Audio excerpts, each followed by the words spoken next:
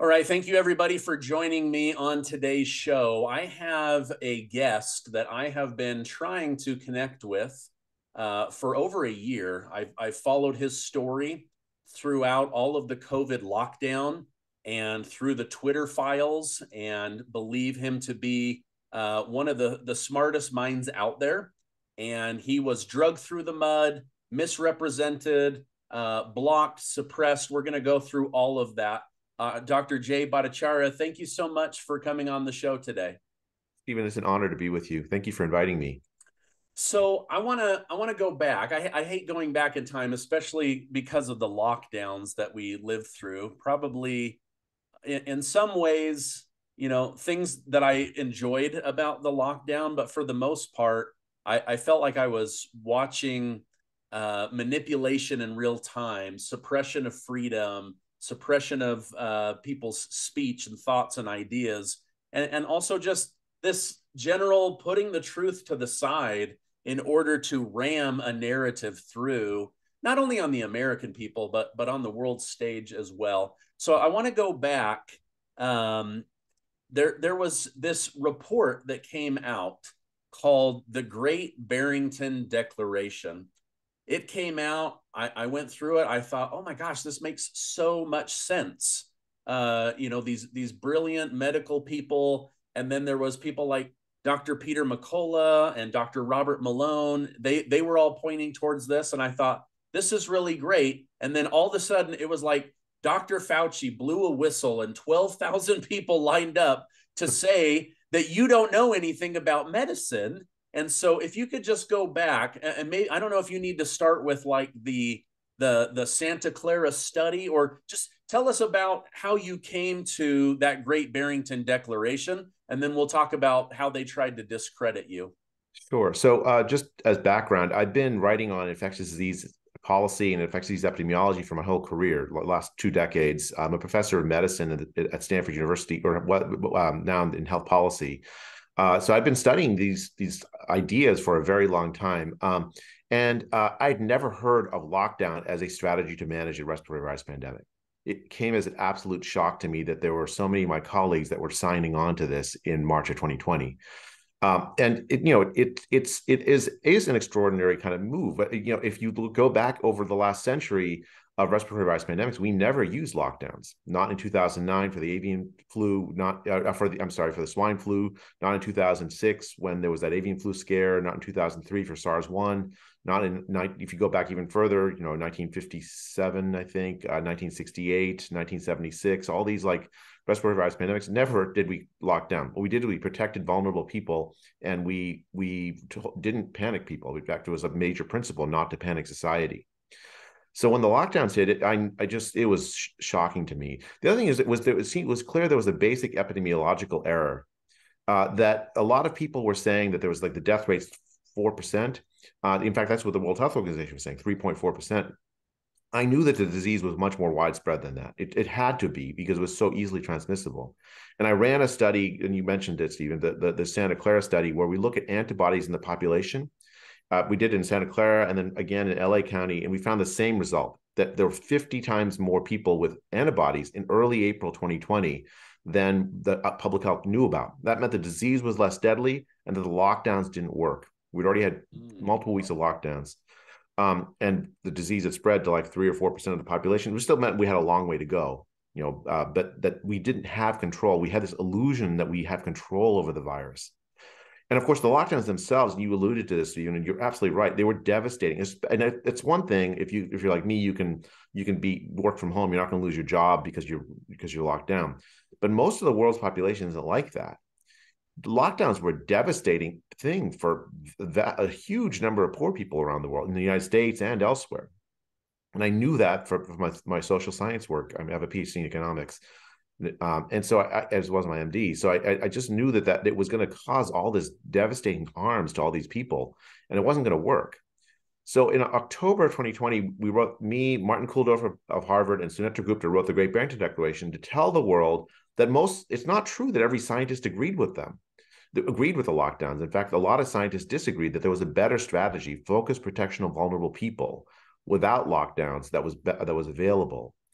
Uh, and that that the only way that you could have a lockdown that you can convince governments around the world to implement them was essentially tell a lie to governments. A lie being that every scientist agrees every responsible scientist agrees you have to lock down or else people are going to die. That was a lie. And uh, they it was spread that lie was spread basically by powerful scientific bureaucrats creating an illusion of consensus behind that idea. And what the, the what the great barrington declaration represented was a shattering of that illusion of consensus. We're telling the world lots of scientists, prominent scientists, disagreed with that lockdown strategy. Yeah, I so in, I'm I'm in Utah. Uh, we we locked down. They they were telling us 20 million people are going to die in 90 days. I told my wife we are locking down. Our children will see nobody. I will go to the grocery store. I was offering to go to the grocery store for the widows in my church and in my neighborhood. I was like, okay, I'm a healthy young man. I'll just do, I'll take all the precautions. We did all of that. And uh, then I, I started noticing, wait a minute, shouldn't shouldn't this disease have like ravished the homeless population? And, and, and instead, because of the lockdowns, it was like the homeless population was growing, right? So the state of Utah decided to reopen in May of 2020 so I'm here, I'm doing my show, I'm, I'm telling people what the government's doing, but I'm I'm living a completely different reality, but I don't know it, right? So like I'm going to the grocery store, I'm not wearing a mask. Almost nobody's wearing a mask, right? So for those that are hearing this, don't judge me. I where I lived, nobody was wearing them, right? I'd go to church, eh, a couple of people, whatever. So I went to the movies, I went to dinner. It was really interesting. And, and then in my comments, I started seeing people from New York, like you know, telling me that I was such a horrible person, people from California, uh, people from Chicago. And I was like, oh gosh, maybe, maybe I'm doing something wrong here. And then my wife and I, we ended up going to California. We didn't take masks because we didn't know we needed to, right? And I'm, I'm waiting for some food and I see a man walking by with two masks on, walking his dog, and he's completely by himself. And I was like, oh, that's weird and then I look and I saw people driving with masks on by themselves. And all of a sudden I was like, whoa, I think I'm living in a totally different reality than than the rest of you know planet Earth. It was really interesting uh, to to live through that. Now, so you're are you positing that you think uh, COVID had already arrived in California and had spread through, and people were already building immunity against it? Yeah, I mean that's what we found actually. So uh, it was uh, in early April 2020 that Santa Clara study. We measured a in the the ambulatory you know, population in the community how many people had antibodies already. Uh, antibodies means that you've been infected and had and recovered, and it was 50 times the number of infections than cases. Cases meaning people that have come to the attention of medical authorities. Infections meaning they have antibodies walking around completely healthy because they've recovered from the disease. And for every single person that was identified as a case, there were 50 people walking around with antibodies that had recovered. Um, and that's April 2020. Uh, the official start date was January 2020. Remember, uh, late January 2020. Um, even shortly after that, they found uh, there was an autopsy done uh, in, from someone who died in early January in Santa Clara County that found was positive for COVID at the time he died. Wow. Um, and uh, you know, of course, the, the official start date of the epidemic is December 2019, but there's antibody evidence from uh, Italy, from Angola, from stored blood banks. You know, where, where sometimes you get blood, they'll store it um, from October 2019 oh, in wow. Italy, in Angola. Uh, there, there's, there's, so this this is from all around the world. I think the disease was seeded around the world in fall 2019. Okay long before people knew about it. And so that, that what that meant was that there was no chance of a lockdown stopping it, right? The disease spreads very easily once it's seeded. That's why you saw those outbreaks happen so rapidly after each other, right? You saw the outbreak in in China very quickly followed by an outbreak in Iran, in uh, another outbreak in Italy, and then in you know then in you know Sweden and the UK and then the US. But one after the other after the other. It felt like dominoes were falling. But that only happens epidemiologically if the d- disease is already seeded everywhere. And that it, it was seeded in in fall 2019. Interesting. Oh man. and I, I swear there was propaganda being used against us because during like March and April, uh, on social media, there were all these videos of people in China just like randomly dying, falling in the streets, and and so it, they were. It was like uh, you, you, had mentioned uh, during all of those previous uh, respiratory, uh, you know, outbreaks that they there was this, you know, trying to calm people. It seems this time fear was, you know, the gasoline that they were throwing on every conversation um, and and that fear was spreading almost faster than the disease. But it was it was very infectious. Now, um, it, it, does seem that uh, government. Um, I know several. I read online several governors uh, came forward against you, um, saying that uh, you know this this Barrington Declaration was funded by libertarians um, anti-government people and that uh, this thing needed to be discredited and then uh, dr fauci gets what, what was it like 10,000 or 12,000 medical people to say that that there's there's not a lot of uh, truth and that this this declaration should be ignored yeah so um, uh, the the the uh, first of all on the funding of the declaration uh, the declaration we wrote it in a in Great Barrington, Massachusetts. That's why it's the name Great Barrington Declaration. Um, it was at a place called the American Institute for Economic Research (AIER), which I'd actually never heard of prior to being getting an invitation from my friend Martin Kulldorff, the Harvard professor, to come out there for this to, to like have a little conference. I I paid my way my own way to the to the little conference. I paid my own way back. I didn't take a single dollar. In fact, I haven't taken a single dollar of of honoraria or any money at all for my COVID work. I've turned down even like uh, you know when I when you write sometimes in journal in um newspaper or whatever in, in, in magazines they'll offer you uh, money. I've turned all that down because I just don't feel right for taking money on my COVID work. Um, and so I just uh, you know it, it, and it's disheartening. I mean, it was not a political uh, document. If you read yeah. it, you can see it's it, it is a it's an epidemiological st- strategy document. It's a public health document. It's a call for public health to think more carefully about how how to better protect people. Um, the people who signed it, the, the, the primary authors of it, me, Martin, and Sunetra. Sunetra is on the left in uh, in the UK. She's on she's she's she's just on the left. She's she's not uh, she's not on the right at all. Um, Martin, I don't know what his politics are. He comes from Sweden, um, and you know, I, and I'm a I'm a I have a PhD in economics and an MD. And I tend to be on the. I mean, if you call me center right, I wouldn't complain. But I, if you call me center left, I wouldn't complain. I mean, I just don't really have a particular politics. I never uh, declared who I vote for. I'm not going to endorse candidates because I'm in public health. I want to be able to speak to everybody. It was a public health document. The idea that it was political was in the minds of people like Tony Fauci and Francis Collins. They were treating us as if we were political enemies rather than fellow scientists to engage with. And they engaged in ad hominem and smear attacks on us. Four days after we wrote the declaration, uh, Francis Collins, the head of the National Institute of Health, wrote an email to Tony Fauci calling me, Martin, and Sunetra fringe epidemiologists. Just to give you a sense of, of how terrible that is. I mean, Martin is the is a biostatistician and epidemiologist at Harvard at the time. He designed the statistical systems that the CDC and the FDA use to track vaccine and drug safety. Like they they use his intellectual work to track safety of drugs.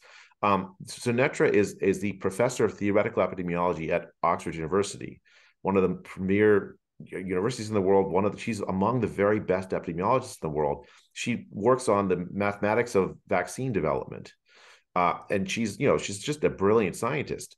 Uh, to call her a fringe epidemiologist, it's just it's the the reason why they did that was that they wanted to send a signal to other scientists that if you spoke up against us, that's they meaning Francis Collins and Tony Fauci, that if you spoke up against us, your career is going to get threatened. You're you're going to get destroyed as your reputation is going to get destroyed. And it, you know, that it it worked. A lot of scientists stayed silent as a consequence. You know, tens of thousands of scientists actually did sign the declaration. Doctors, scientists, a million people signed it. Uh, it went viral. We all we did was put up a web page. We didn't. There's no marketing budget for it. Zero dollars on marketing. 40 people from around the world volunteered uh, you know translations for free for us. I mean, it, it was just like this groundswell of of of of, of sentiment. I think the because everyone felt what you were feeling, uh, Stephen, at the time. It did, it didn't make sense. All these lockdowns, what were the, what were they actually accomplishing? Um, and, and and of course in the poorest parts of the world it was devastating the, the the, lives of so many poor people. It was devastating the lives of, my kids didn't see the inside of a classroom for a year and a half in california. Um, and so that's i think why it spread so rapidly. But the center you know people like tony fauci viewed it as a threat to their authority. And they reacted by essentially uh, organizing a propaganda campaign calling asking saying that basically i wanted to let the virus rip when we were calling for focused protection of vulnerable people um, I mean, it was just a lie, and I got death threats straight for two straight years. I mean, it was every every time I would appear in public, uh, you know, it, on on TV or on where I'd write some some piece, I would get death threats. Uh, you know, some of them racist attacks. You know, go back to your home country, kind of attacks. It was really nasty. Um, it was funny though, because then like in 2022, there was some new, newspaper article where the people uh, in New York Times saying, "Oh, it's terrible that T- Tony Fauci's gotten threats." But he himself organized a campaign that led to death threats against people that, that opposed him. Um, yeah, I just, I just, the whole thing was just disheartening to watch. It was not at all how I viewed the scientific community before the pandemic. It was just a, it was a, a, a major departure from the standards. And you, and one, one last thing, sorry, Stephen, just to put a point on this, when the head of the NIH says fringe epidemiologist calls for a devastating takedown, which is what he wrote in that email, th- that signal is not just because he's has a lot of money to give you to write run your experiments.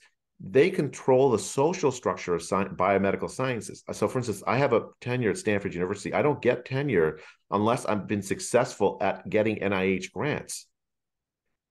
So it's it's a direct threat. People that signed the declaration some of them lost their jobs in universities and elsewhere for signing it and for for publicizing that they signed it.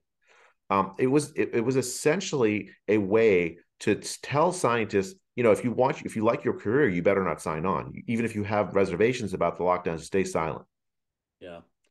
Um, d- during the lockdown, we we had to go to the hospital for for my wife, uh, and she was treated so differently than when I went to an independent doctor. And and I, I pointed that out. I was like, wow, did you notice how different? Like you were a number you were an animal you were you know this infected sick human that could kill everyone around you. And then we went to like this independent doctor who had done a lot of research and she was like we're going to get you through this. We need to you know raise your immunity. We need to get you in the sunlight. We know you know. It was such a different experience and i was like wow. She had no threat of losing her job at the hospital. These people had all the threat you know and so, you know, they got mortgages and kids and, you know, people just do what they have to do sometimes and, and they're getting through it. They're scared. Um, and, and so it's just such a interesting time to live through, you know, and, and you think about it like these people didn't have to call for your death or your assassination because you can assassinate someone's character far, far more often and worse than just taking them out, you know, uh, once and for all. So, I'm so sorry that uh, you, you, had to live through that. I'm, I'm, grateful that you know we're on the other side of this, and, and a lot of this stuff has turned out to be in your favor. I don't know if that it probably doesn't help at all, but at least it, internally, you know, hey, some of the stuff I was saying was right. You know, Stephen, the funny thing is that it's the least that Great Barrington Declaration is the least original thing I ever wrote in my life. It is it's it's written in a stylish way because Sunetra, is, in addition to being a brilliant scientist, is also a novelist. Um, but the, the ideas in it are just as old as the hills. I mean, it's just a restatement uh, in a, in a uh, into of the old pandemic plan. Protect the vulnerable. Don't panic the population. We, I mean, the public health explicitly adopted strategies to panic the population in order to gain compliance with the lockdowns.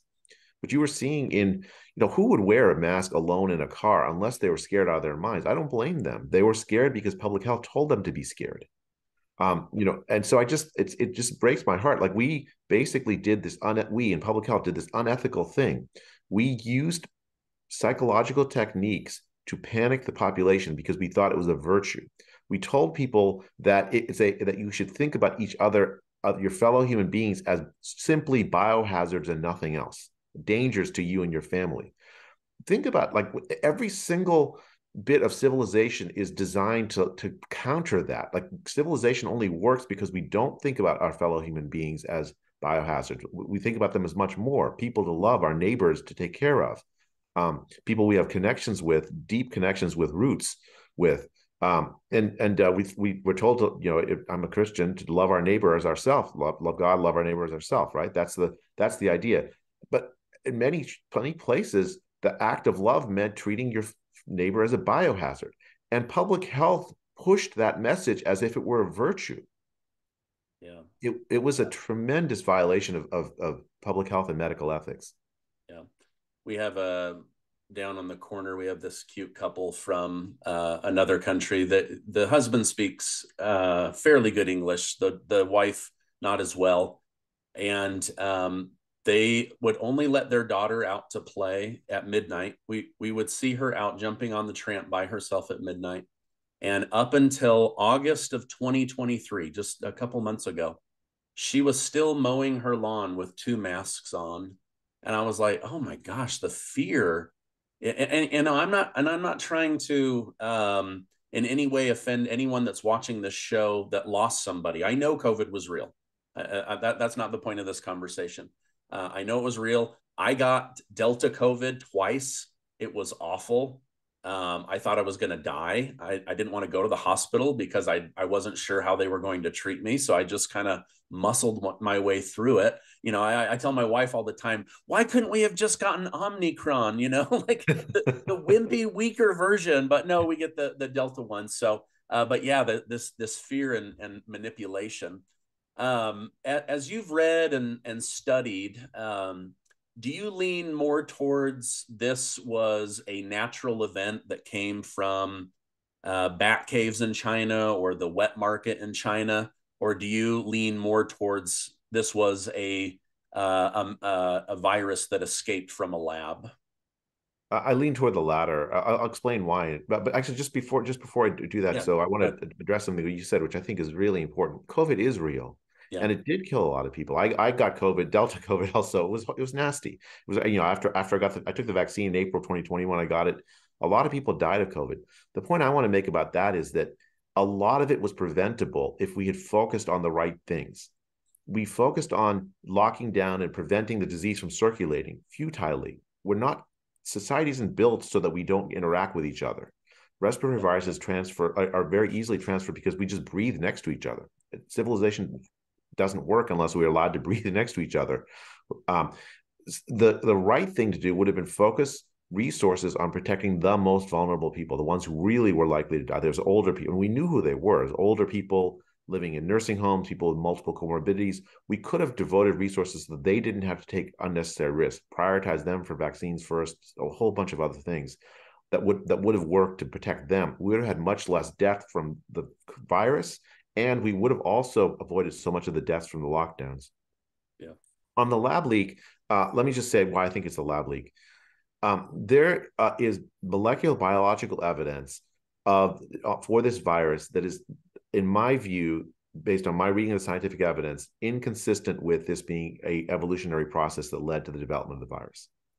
Uh, there are elements of this uh, that of the uh, and and specifically the, the the there are there are proposals by the groups that are that have been essentially accused of funding this work proposals uh, that doing this work from 2018 that have the same molecular biological signature of the of a similar virus uh, you mentioned the bat caves in China. It's actually a broad, a broad problem, actually. So what happens, what happened over the last 20 years is that we, in the scientific community, developed a program of research to go to the bat caves of China and all the wild places bring viruses out of there into labs. And, what, and the, uh, the argument was that we need to know which of these viruses have the most propensity to make a leap into human populations. And the way you do that is you bring these viruses out of the wild into like labs, often in population centers, often with with very lax security, like in like the, the lab in Wuhan, China. Um, and then you do research on them to make the viruses more transmissible to humans. And you ask how many how many mutations does it take? If it takes a lot of mutations, it probably is not at risk of making the leap. If it takes a few, you it's going to make the leap. And then you prepare vaccines and other treatments in advance of that for the viruses that are likely to make the leap or that, that have the, more potential to make the leap. There was a whole, that's the pandemic preparedness industry in a nutshell. And it seems like on the balance of the evidence I've seen, likely that that goal, that pandemic preparedness industry itself led to very risky research being done in places like Wuhan, funded, unfortunately, I have to say, Stephen, by the United States in part, um, that led to bo- both the creation of this virus and the accidental leak, a very likely accidental leak and a leak is not i mean the if you ever worked in a lab it's you know it's often very monotonous. You're doing you know pipetting you're and you uh, you know the mask slips a little you're the bit you your gloves come off there's a little hole in the glove whatever it is you breathe in something you shouldn't breathe in you get sick and you, you go home and you give it to your family and then it spreads from there. That's what a lab leak is. It's not nefarious necessarily. Um, I think that's the most likely scenario. Uh, I, you know, there's House hearings today from one of the key players uh, in the in this uh, pandemic preparedness industry. It'll, it'll, be interesting to see what he says. Um, but uh, there's a huge number of people that have an interest in trying to say it's a natural origin because they funded this whole pandemic preparedness industry that likely led to this, and that includes Tony Fauci, for instance. Yeah, yeah. The one of the best explanations I've heard is, you know, like they now know the first couple of people that got the virus were from the lab and and you come out of the the Wuhan uh, uh, virus lab, a virology lab, and there's there's like a train right there, you know. So you you come out, you don't know you have it. You're riding that train all week, and now you've got a tube full of that bacteria or or that virus, that respiratory virus.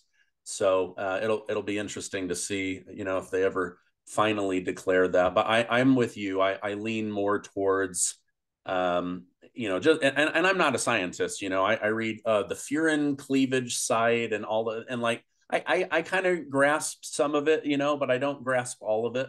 But the the people that I follow, uh, they're all of the same conclusion that just this has the earmarks of being uh, manipulated in a lab versus coming from nature.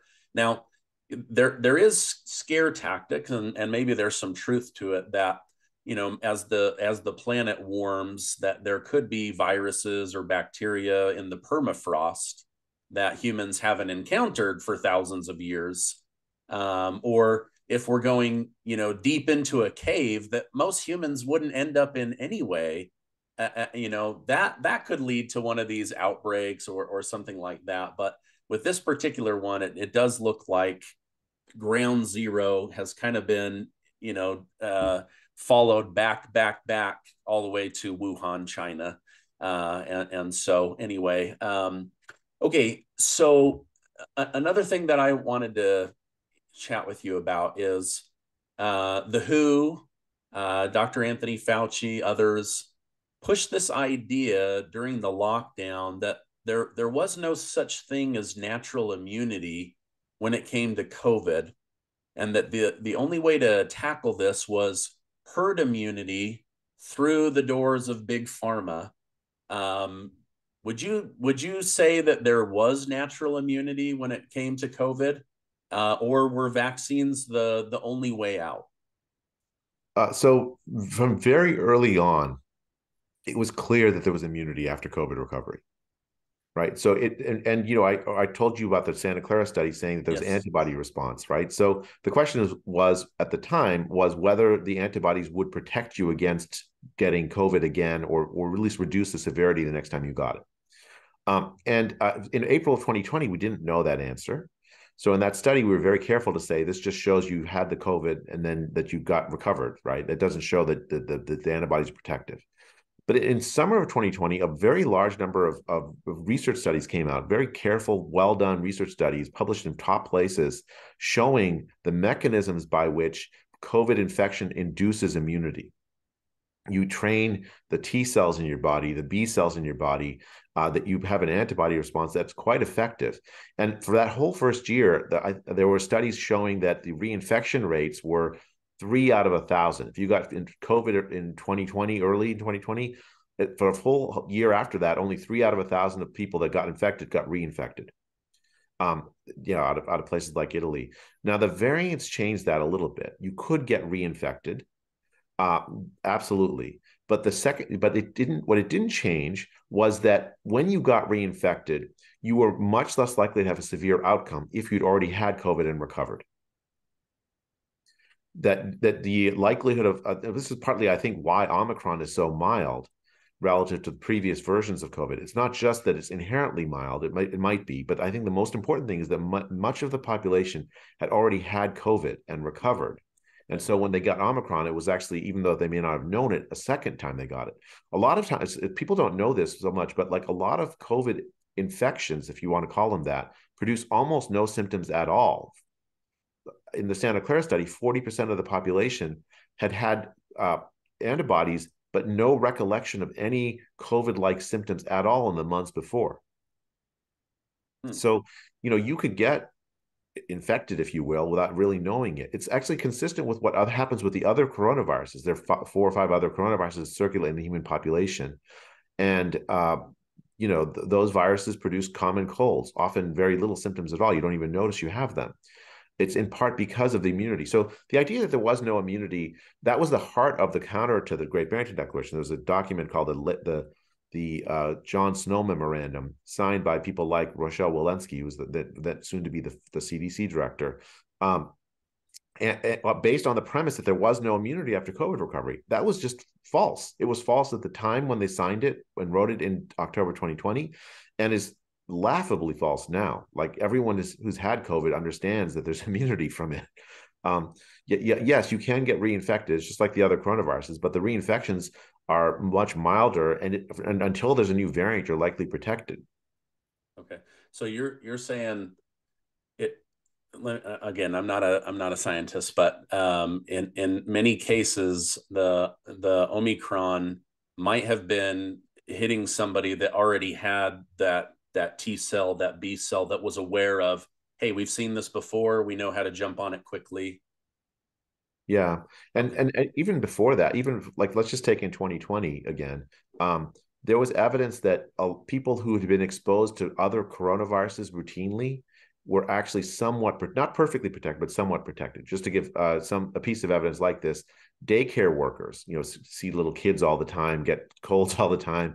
Um, they have pretty good immunity, actually. Turns out uh, they've seen coronaviruses all the time. There, there was evidence that they had less severe disease than the people who weren't of the same age that weren't daycare workers.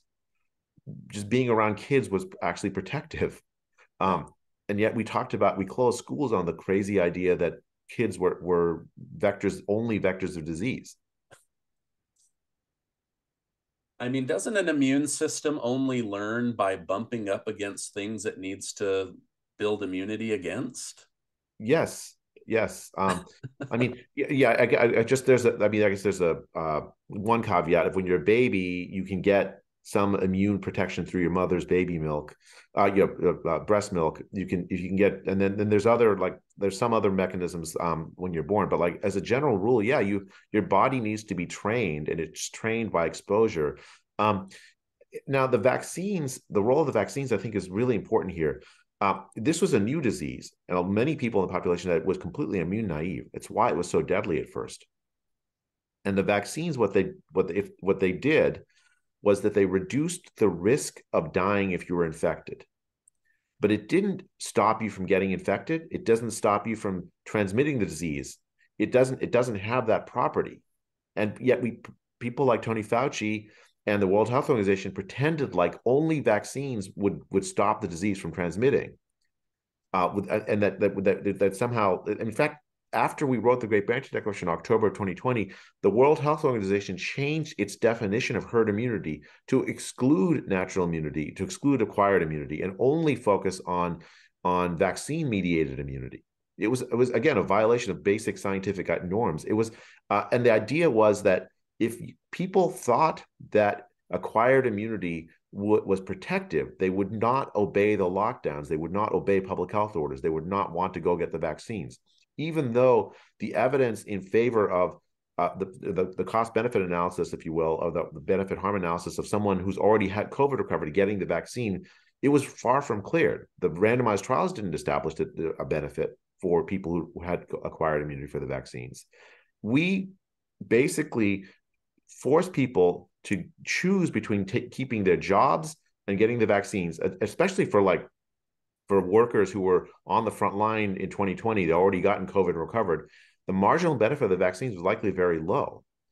and yet we said we treated them like pariahs. If you don't get the vaccine, you lose your job, you lose your career. You can't even go to a restaurant. You can't in New York City. You couldn't go to public public libraries. Um, in Canada, you couldn't fly or or go on a train um, or leave or leave your province. Um, we treated people like pariahs on the false idea that acquired immunity provided no protection at all.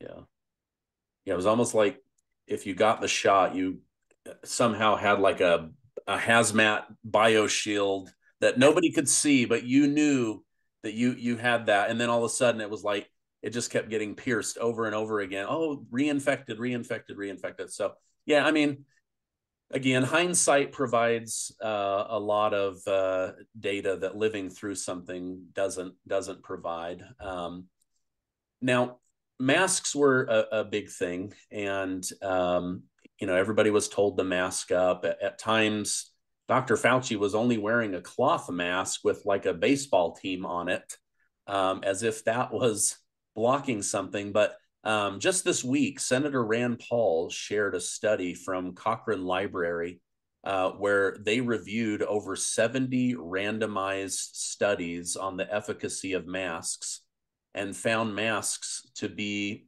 basically ineffective. Um, now, if this is true, uh, is do we know whether Dr. Fauci knew this and he was just trying to give people some kind of uh, action item or did they just convince us all to wear a face diaper that wasn't really blocking this teeny tiny little virus? Uh, so, so first of all, that Cochrane study is incredible. It's a great study. It's by a, some colleagues of mine, friends of mine from Oxford. They they are uh, it includes like Carl Heneghan and Tom Jefferson, who are uh, they, are like they they had the Center for Evidence Based Medicine at Oxford, decades of experience, and they've been writing, they've been following this mass literature since 2007. I think the first version of that came out in 2007. And what, what you reported is is correct. That there are, I think, a dozen or more randomized studies for the flu and masking that failed to find any benefit. Good randomized studies. Now, uh, some of those studies, the complaints are, well, uh, they when people were randomly assigned to wearing a mask, many many of them didn't wear a mask and there and then and then people say, well, that means you can't use a randomized design because people won't comply. But you know, that's exactly what happened in the real world. That's a measure of the real world. You tell people to do something and they don't, they, you expect them to comply 100% and, and pretend like you've done something right. Uh, it, it, didn't, it didn't make sense, right? That, that those randomized studies accurately reflected what would happen if you forced masking in the real world. Um, and they found no effective on disease prevention. And then there were studies in the COVID era of masking finding very little or no benefit, or or failing to find a benefit, I should say. Um, the physics of it doesn't make sense either, right? So you know, the, you have those mannequin studies where like there's droplets coming out, and the mask blocks droplets. Yeah, the mask drop blocks droplets, but the disease spreads by aerosol. Aerosol is like clouds, droplets are like rain. You have glasses, Steve, and I have glasses. We both, I'm sure, experience this. You put the mask on, your glasses fog up that's aerosols, which might have the of COVID little drop uh, inside inside some of the water molecules that of the, of the aerosols in them floating up out. The masks do not stop unless you're unless you're wearing a, uh, an N95 and then, then, for only short periods of time because you got to take mask breaks. You, it's hard to breathe. Um, and then if it gets wet, you change it. You can't ask the population at large to do this. Fauci knew this at, early in the pandemic. It's why he said early in the pandemic that masks don't work late and that was that was actually truth. Um, later he said oh i was lying to you then about when i said masks don't work because i wanted to preserve the mask for the for the healthcare workers. Um, that's two lies. I, I, mean like you know he wasn't lying then and then the second lie is the premise that masks somehow work uh, for the population at large. Uh, he was I, actually at that point i don't know why people just, just didn't stop believing him. If he was admitting that he was willing to manipulate uh, his expression of what the scientific data said just to manipulate public public behavior. I, mean, as a public health official, that's just anathema. You're just you you've you've said you've you admitted you've engaged in lying to the public, even if you call it a noble lie. It's a lie. That should have led people to to stop trusting him. Yeah, it, I was just telling my wife uh, last night that like elementary schools use this lie of George Washington not being able to lie about chopping down a cherry tree. So, but it's a, it's a lie of a story to teach the lesson of not lying. but it's a lie. You know, it's like I could not lie. I chopped down that cherry tree. That's a fake story. That's a lie of a story, right? So um, anyway, oh man, crazy times that uh, that we live through. Um, okay, couple final questions, and then we'll wrap it up here. Um, you were a big proponent, uh, or, or, you were you were uh, a big believer in these lockdowns not being as effective, especially with respiratory stuff. Protect those most vulnerable, let the rest of the population uh, live it out. John Hopkins, a fairly well respected, well known uh, medical group, did a study showing the efficacy of the lockdowns only reduced death by two tenths of 1%. So we pumped trillions of dollars, went into tons of debt, created roaring inflation, scared the life out of a lot of people, maybe put people in harm, certainly set children back and babies back, you know, childhood development back. And then you're kind of, you know, vindicated that through this John Hopkins that it, it was not the right move. What are your thoughts on that? Uh, that Hopkins study is amazing, actually. So there's a whole big literature on the whether the lockdowns worked. And one sort of tranche of, of articles basically say, well, our computer models say that millions of people would have died if we didn't lock down. Millions of people didn't die, therefore the lockdowns worked. Then you just point to Sweden. They didn't lock down, and their all-cause excess deaths are the lowest in Europe. California protected life worse than Florida. California has higher all-cause excess deaths through the pandemic than Florida does. And California closed schools. California had the mask mandates, the vaccine mandates, and the, all the all of the COVID tyranny. Florida didn't, and yet California has higher all-cause excess deaths. The, the lockdowns did not protect life. Um, and you, I, I couldn't have said it better than you, Stephen. You were absolutely right. We did this for nothing. It was futile, and it resulted in so much harm.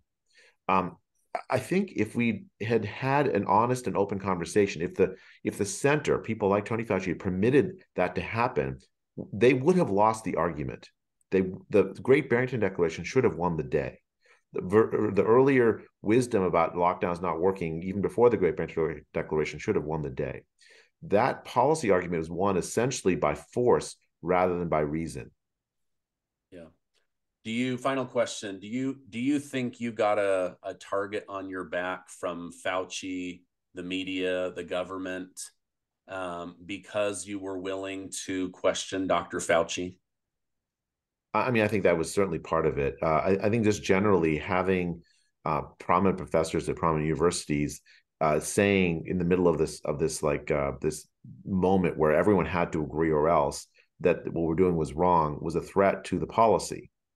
Uh, and you know, even starting in 2020, but certainly into 2021, the government brought on itself this enormous apparatus to suppress speech, not just of me, but basically any American that had had any ideas that uh, that were opposed to the lockdowns or, or government policy on COVID.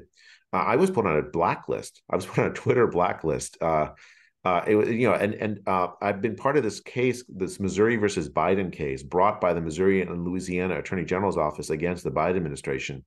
What it's revealed is this huge uh, effort by this by the federal government including the CDC, the NIH, the, the Surgeon General's office, and the White House itself, yeah, by the way, including the FBI, um, to go to social media companies and say, you should, you need to censor these people and these ideas. If you don't listen to us, you know, you, we have like regulatory powers that'll make your life as a company really, really difficult. Um, I mean, that's the implied threat. And the social media companies complied because they, you know, they they like to have to be able to run their business. It's a vast violation of the American First Amendment at scale. Uh, and uh, you know, I, I'm I, I'm pretty hopeful. It's right now the Supreme Court has accepted the, the, the case, and we've got from the lower courts great injunctions telling the Biden administration to stop violating the First Amendment. The one judge actually called it an Orwellian ministry of truth. We have not had a democracy. We have not had civil rights the last three and a half years.